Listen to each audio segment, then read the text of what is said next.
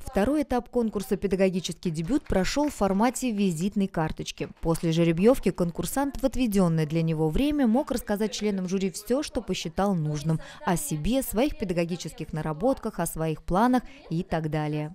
В этом году у нас 19 прекрасных участников.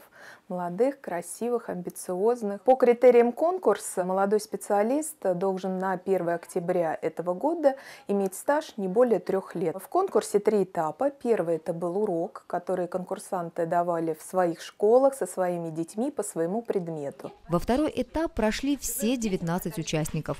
Анна Зыканова, учитель ИЗО и технологии Останкинской школы, девушка с активной жизненной позицией. Человек Человек творческий в этом году защитила магистрскую работу в Федоскинском институте лаковой миниатюрной живописи.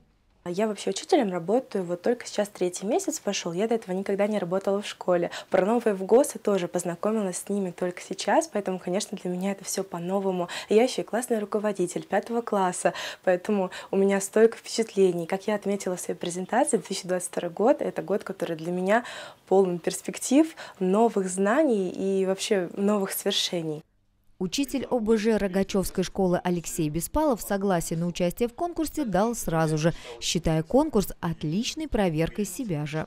По возрасту-то не совсем молодой, но как специалист, как педагог я молодой. Я работаю третий год только в школе а, и решил попробовать себя в данном конкурсе. Испытать, можно сказать, небольшое испытание. Волнение испытывал каждый участник. Всем хотелось дойти до финала. Завершающий этап – это будет разговор с начальником управления образования на заданную тему. Тему мы пока еще держим в секрете. Из 19 участников в финал выйдут только 10 человек. Финальный этап состоится в начале декабря. Народных художественных промыслов.